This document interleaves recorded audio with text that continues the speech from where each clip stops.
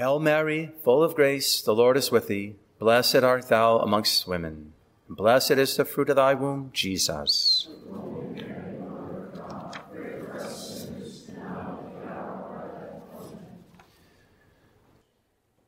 You have heard that it was said to them of old, Thou shalt not kill.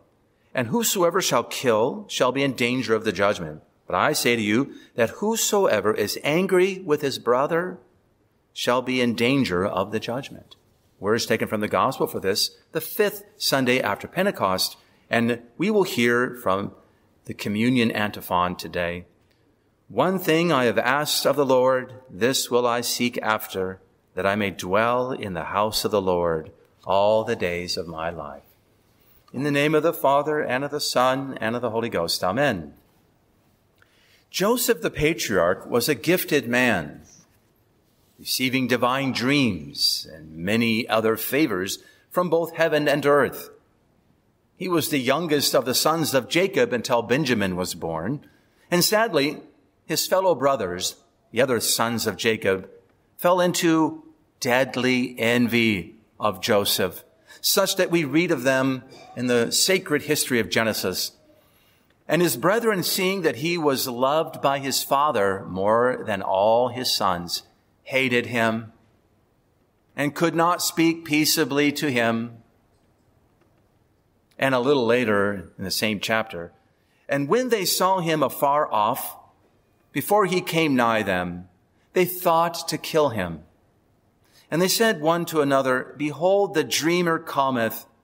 Come, let us kill him and cast him into some old pit. And we will say, Some evil beast hath devoured him and then it shall appear what his dreams avail him.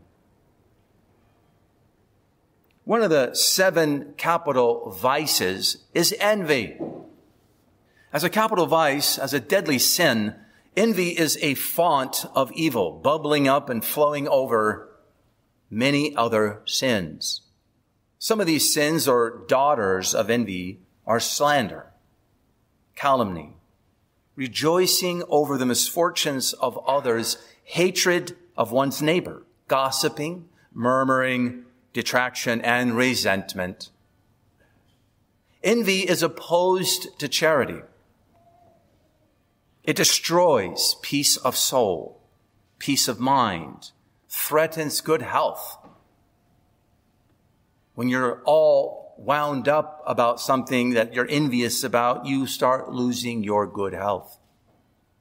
And it brings one into disfavor with others. To counter this vice, St. Peter teaches us in the lesson today the opposite. Let us decline from evil and do good. Let him seek after peace and pursue it. How are we going to do this? Well, let's look into envy a little bit more. Envy is defined simply as unhappiness, sadness, or discontent at the excellence, the success, good fortune, or talents of another. The envious sees these as a lessening of his own good, his own excellence. As the charitable man would rejoice at the good of another, the envious sees another's gain as his loss and as an injustice done to him. Normally, when one sees an injustice, they also become angry. So we can add anger as one of the daughters of envy as well. And thus the scribes and the Pharisees were perpetually angry at his majesty. They murmured against him time and time again as well as committing sins of slander and calumny and so on. Such are the sins bubbling up from the evil font of envy. Now let's take note that envy is not to be confused with the discontent we may feel in seeing ourselves without the possession another has. Rather, envy is seeing another's gain as our loss. Envy is also not to be confused with emulation, which is the ambition to equal or surpass another. Listen to St. John of the Cross. He says, if any envy accompanies charity, It is a holy envy by which they become sad at not having the virtues of others. But they rejoice that others have them and are happy that all others are ahead of them in the service of God, since they themselves are so wanting in his service. So a holy envy wants to emulate, not disparage, not detract from the good of others. It wants to say, I'm going to do that too. I'm going to try to do it better. That's a holy envy. Now, the source of the vice of envy is pride, self-love. It's often found in those suffering from a low self-esteem. St. Gregory the Great confirms this in commenting on the passage from Job that reads, Envy slayeth the little one. Envy slayeth the little one. A passage from Job. Gregory the Great says, For it is impossible for us to envy any but those whom we think to be better than ourselves in some respect. And so he is a little one who is slain by jealousy for he bears witness against his very own self that he is less than him by envy of whom he is tormented. It is hence that our crafty foe in envying the first man despoiled him in that having lost his estate of bliss, he knew himself to be inferior to Adam's immortality. It is hence that Cain, was brought down to commit the murder of his brother. In that when his sacrifice was disregarded, he was maddened that Abel, whose offering God accepted, was preferred to himself. And his brother, whose being better than himself, his younger brother, was his aversion. He cut off that he might not be at all. He murdered him. Again, Esau, was fired to the persecution of his brother for the blessing of the firstborn being lost, which for that matter he had himself parted with for a mess of pottage. He bewailed his inferiority to him, his younger brother, whom he surpassed by his birth. Again, his own brethren sold Joseph to Ishmaelites, as we started this sermon off with today. His own brethren sold him as a slave. Given the mystery of the revelation of his being superior to them being disclosed, they set themselves to resist his advancement, that he might never become superior to themselves. Again, Saul persecutes his servant David by throwing a lance at him, for he dreaded that man growing beyond his own measure whom he perceived to be daily waxing bigger by his great achievements in the virtues. Thus, St. Gregory concludes, he is a little one who is slain by envy. Thus, Solomon says in wisdom, God created man incorruptible, and to the image of his own likeness he made him. But by the envy of the devil, death came into the world and they follow him that are of his side. You want the devil to be your leader? Give way to envy. St. Gregory the Great says, envy is a self-inflicted pain that wounds the pining spirit, which is racked by the prosperity of another. The greatest of the popes, Gregory, then explains that it can undermine and destroy all our virtues, even all our good works, making them rotten and worthless, no matter how good they may appear on the surface. As envy is a sin against charity, of its nature, the theologians tell us it is grievous. Of its nature, it's grave.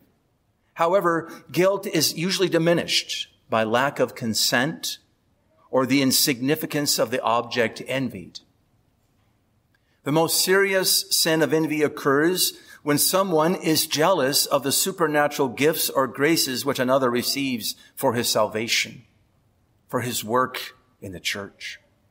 Listen to St. John of the Cross again In regard to envy, many of them feel sad about the spiritual good of others and experience sensible grief in noting that their neighbor is ahead of them on the road to perfection. And they do not want to hear others praised. Learning of the virtues of others makes them sad. They cannot bear to hear others being praised without contradicting and undoing these compliments as much as possible. Oh, if he only knew that person as I do, we might say. Instead of saying, I hope they pull me up when they get ahead. Their annoyance grows because they themselves do not receive these plaudits and because they long for preference in everything. All of this is contrary to charity, which St. Paul says rejoices in the truth. Now, the chief weapons in conquering the spirit of envy are hope, hope in heavenly bliss verticality. More on that in a moment. A deep humility is required to overcome envy. We accept our place and we take our place, not looking at everybody else's place. We also, however, do not exclude a proper self-esteem and self-love, love of self, recognizing where we are and who we are, which is useful in conquering envy as well as a sincere and supernatural love of all men. These things conquer it. That would that we could say with the saints, I am nothing, I can do nothing, I am worth nothing. And that's okay, as long as I can serve and love God. St. Gregory the Great, he says, it is a hard thing for one man not to envy another that which he earnestly desires to obtain. It's hard. We all feel it what to do. Let him then, who longs to be wholly and entirely void of the bane of envy, says the great Pope, set his affections on that inheritance. Aha. On that inheritance which no number of fellow heirs serves to stint or shorten, which is both one to all and whole to each, which is shown so much the larger as the number of those that are vouchsafed to, as vouchsafed it, is enlarged for its reception. What's he speaking of? Heaven. There's no shortage of goods in heaven. As we possess God himself, goodness himself, all is available there. All is full and fulfilled there. Verticality, dearly beloved, is the solution to envy. We need to go to heaven if we're going to solve it. St. Gregory continues. And so the lessening of envy is the feeling of inward sweetness arising. And the utter death of it is the perfect love of eternity. The utter death of envy is the perfect love of eternity. For when the mind is withdrawn from the desire of that object, which is divided among a multitude of participators, as we have limited goods here on earth, the love of our neighbor is increased in proportion as the fear of injury to self from his advancement is lessened. And if the soul be wholly ravished in love of heavenly land, it is also thoroughly rooted in the love of our neighbor. They go together, and that without any admixture of envy, says St. Gregory. Whereas he adds, he is a little one who loves earthly things. He is a great one that longs after the things of eternity. The theologians point out that the moral conflict aroused by envy has three stages, each marked by the various daughters or daughter sins that flow from this vice. Number one, first stage. It begins by striving to ruin another's reputation, either secretly gossiping, if you only knew what I knew about that person, or openly detracting. I'll tell you all about it. That's the first step. Number two, it increases without efforts to defame others. It increases with our efforts to defame others. If these are successful, there's joy at another's misfortune If unsuccessful, sorrow at another's prosperity results. And then finally, third of all, it ends in hatred. Hatred of neighbor, first of all, and then since our neighbor's good is from God, envy is also the mother of hatred of God himself. It is a deadly vice. As faithful Christians, lovers of good order and virtue, we must not allow this trajectory to take its course in our lives. Instead, let's put a halt to it by looking up and at the end of all things and humbly accept our lot in life in the view of the end. This slays envy. So say to yourself regarding anything that makes envy rise up in your hearts, if I needed that thing or that person in my life, then God would provide it for me. As the act of hope promises. God has given us promises He will help us get to heaven. If I need that thing or that person, God would give it to me. If I need it to get to heaven, he promises to supply what is needed for me to make it to heaven. And if I needed that, He would give it to me. If He does not give it me, then it is because it would hinder my progress to my eternal home. It must be that I don't need it.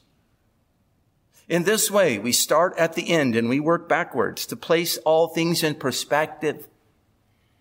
We're asking, what is this to all eternity? And this will pass, but heaven will not.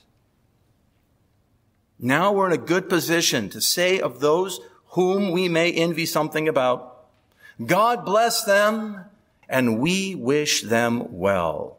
May God provide all that they need to get to heaven. If they need that to get to heaven, God bless them. That breaks it. Envy will die in our souls and love of neighbor will rise up because love is based on well wishing. Thus, St. John Cassian says, We shall therefore be able to expel this most pernicious passion from ourselves once our mind is occupied constantly with spiritual meditation. Then we may raise it up. We may raise it up with a hope of things to come and by contemplation of promised blessedness. There it is. Contemplation of things to come and promised blessedness. That's the way out. For we shall be able to overcome every kind of sadness, every kind of injustice, whether that which derives from previous anger or that which befalls us when a loss of money or some other disadvantage strikes us, or that which proceeds from an irrational turn of mind. When we are ever rejoicing at the sight of things eternal and to come, and when we remain steadfast and are neither cast down by present events nor carried away by good fortune, viewing both as empty and soon to pass. Thank you, John Cassian. In this way, dearly beloved, we decline from evil, the evil of envy, and we do good. We seek after peace and we pursue it. And we long for that one thing heaven. In the name of the Father, and of the Son, and of the Holy Ghost. Amen.